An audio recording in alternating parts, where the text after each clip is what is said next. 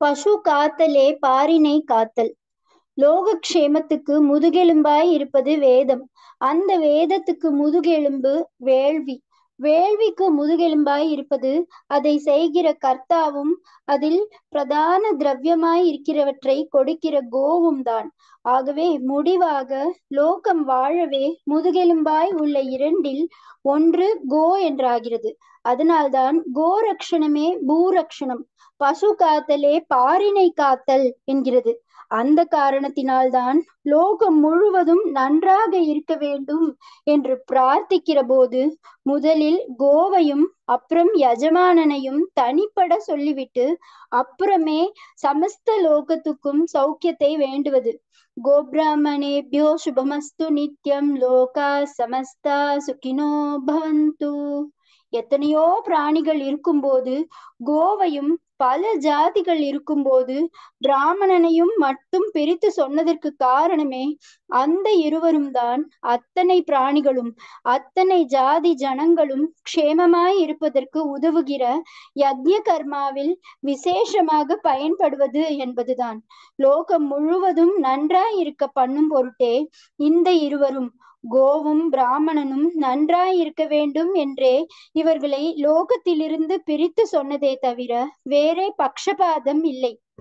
இப்படி சொன்னது ராமாயண பாராயணத்தின் முடிவிலே சொல்கிற மங்கள் மங்கள ஸ்லோகங்களில் முதலான முதலானவதில் ஆனதில் வேதத்தையே அனுசரித்து அஸ்வமேதாதி யஜ்யங்களை செய்து கொண்டு தர்மராஜ்யம் நடத்திய ராமச்சந்திர மூர்த்தியின் கதா பாராயணத்துக்கு முடிவிலே வருகிற ஸ்லோகமானதால் முதலில் லோகத்தை ஆளுகிற ராஜாக்கள் நியாய மார்க்கத்தில் ஆட்சி செலுத்தி பரிபாலனம் செய்ய வேண்டும் என்று சொல்லிவிட்டு அப்புறம் கோவின் க்ஷேமம் பிராமணனின் க்ஷேமம் லோக க்ஷேமம் ஆகியவற்றை சொல்லி இருக்கிறது स्वस्ति प्रजाप्य परिपालयन्तां न्यायेन मार्गेण महीं महिषाः गोब्राह्मणेभ्यो शुभमस्तु नित्यं लोकाः समस्ता सुखिनो भवन्तु ராமர் கிருஷ்ணர் இந்த தேசத்தின் இரண்டு கண்கள் கிருஷ்ண பரமாத்மாவிடமும் லோகத்தின் நலனை பிரார்த்திக்கும் போது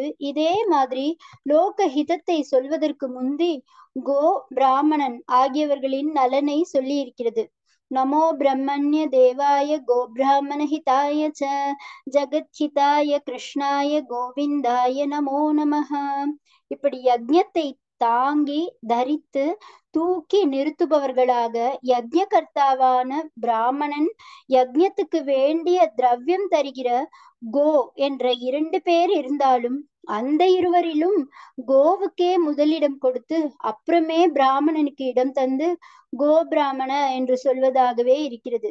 ராமாயணம் மங்கள ஸ்லோகம் கிருஷ்ண பரமாத்மாவை பற்றின ஸ்லோகம் பொது வச்சனம் எல்லாவற்றிலுமே பிராமணனை பெண்ணுக்கு தள்ளி கோவுக்கே முக்கியத்துவம் தந்து கோ பிராமண என்றே சொல்வதாக இருக்கிறது. பிராமணர்களை பூதேவர் அதாவது தேவலோகத்தில் இல்லாமல் பூலோகத்திலேயே இருக்கிற தேவர்கள் என்பது. வேதத்துக்கே தங்களை அர்ப்பணம் செய்து கொண்டு லோக க்ஷேமத்துக்காக யக்ஞ கர்மானுஷ்டானங்களை பண்ணி கொண்டிருக்கும் பிராமணர்களைத்தான் அப்படி சொல்கிறது. தற்காலத்தில் இருக்கும் ஸ்வதர்மத்தை விட்டுவிட்ட பிராமணர்களை அல்ல. இப்படி தேவராக சொல்லப்பட்டவர்களுக்கும் முந்தி கோ தான் கெட்டது போதாதென்று சந்திர புஷ்கரணியையும் கெடுத்தான் என்கிற மாதிரி பிராமணன் வேத ரக்ஷணமான ஸ்வதர்மத்தை விட்டதில் யக்ஞ ஹோமாதிகளுக்கு க்ஷீணம் ஏற்பட்டு விட்டதால் அவற்றுக்கு நெய் கோமயம் முதலியன தருகின்ற தருகிற கோவின் புண்ணிய காரியமும் தடைப்பட்டு விட்டது.